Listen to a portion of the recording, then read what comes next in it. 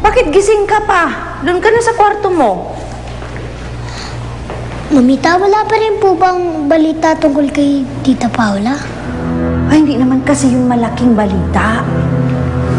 Yun ba yung hinihintay mo dyan?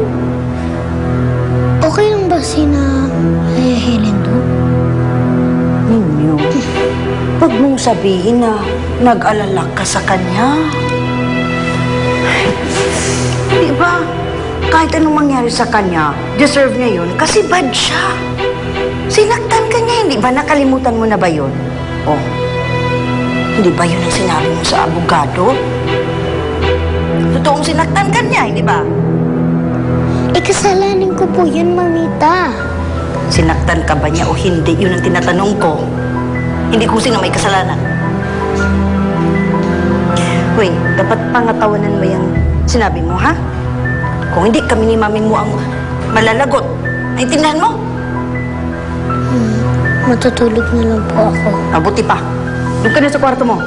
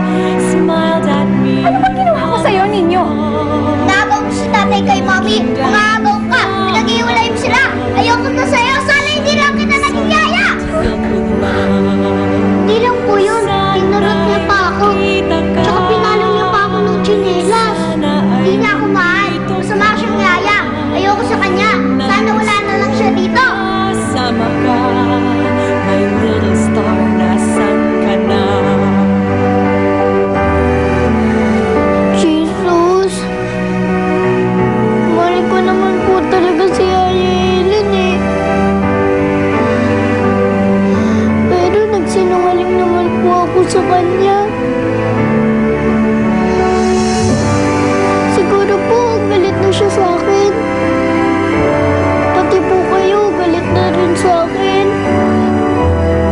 Kasi po, bad boy po kasi ako eh.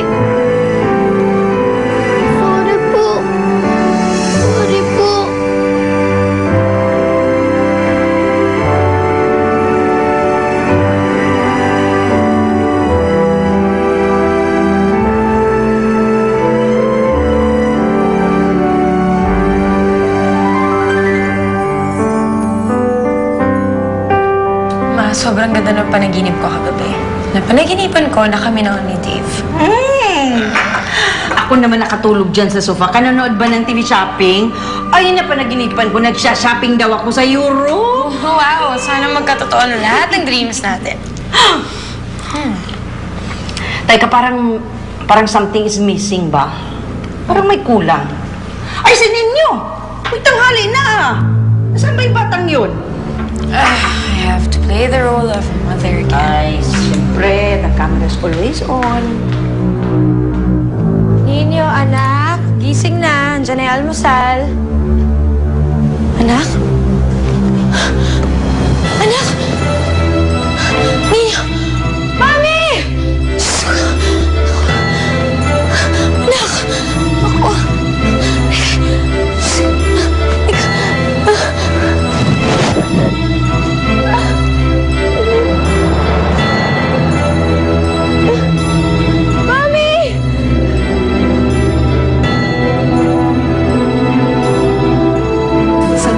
Salubungin ang ganda ng umaga.